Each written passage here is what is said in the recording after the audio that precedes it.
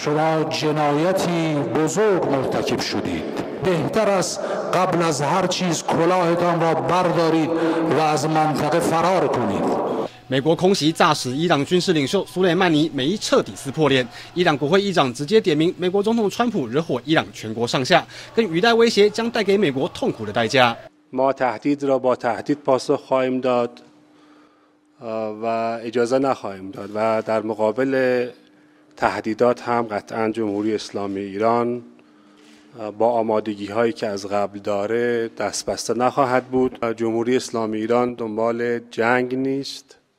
اما اعلام کرده که برای هر گونه شرایطی آمادگی دارد。伊朗国会更指控川普下令猎杀圣城部队指挥官苏雷曼尼是恐怖主义的军事行为，让美伊濒临开战边缘。伊朗政府周日透过国家电视台宣布，将不再遵守2015年核协议限制，包括浓缩铀的产量以及核子研究等，可能扩大发展核武，进一步威胁美国。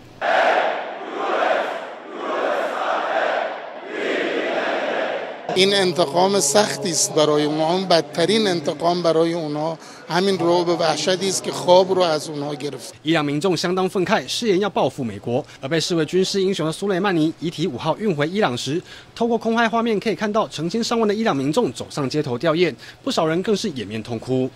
But we're going to take all actions necessary, not only in Iraq but throughout the region. to protect Americans, American citizens, as well as uh, my diplomats and service members who are serving overseas. We're always going to do the right thing to protect America, and I am confident that the decision we make to, made to take down this terrorist, this designated terrorist, who had inflicted so much harm over such an extended period, was the right course of action to reduce risk to America. 伊朗威胁要以军事报复，并点名三十五个美国在中东重要的据点，包括美国军舰常通过的荷默兹海峡以及波斯湾，都在伊朗的攻击范围内。川普不止回呛，已经瞄准了五十二个伊朗文化资产地标。最新的推文更威胁，可能会以不成比例的方式迅速反击，还挑衅的说这类的法定通知不是必要的。尽管如此，还是给了。川普似乎暗指美方箭在弦上，美伊隔空较劲，战争似乎一触即发。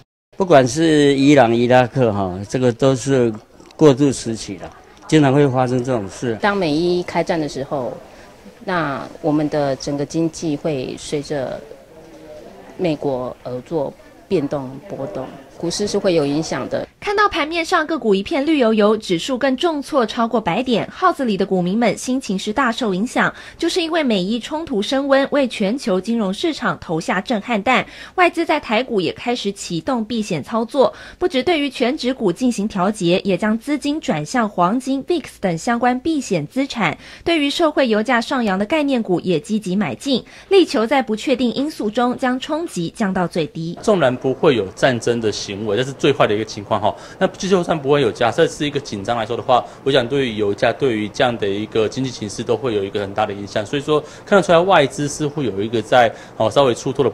在外资买盘缩手下，加上市场不安情绪高涨，也让台股呈现开低走低格局。电子、金融两大主力熄火，也让盘中跌幅扩大，失守一万两千点整数大关。电子三雄中，大力光盘中重挫百分之三点七九，台积电、红海也同步走弱。受惠油价上扬的台塑化等塑化类股成为盘面亮点，其他像是康纳香、毛宝等防疫概念股则受到武汉肺炎疫情持续扩大。股价表现盘中继续攻上涨停板，像黄金啊，或或者是像是油。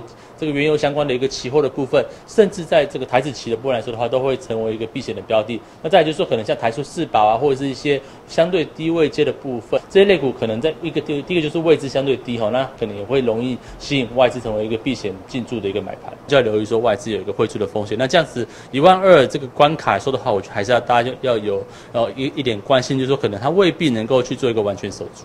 市场不安情绪上涨，让台股失守万二大关。不过法人点出近。期公股买盘力道持续做多下，能否让指数重新收复多头信心水位，将成为市场关注焦点。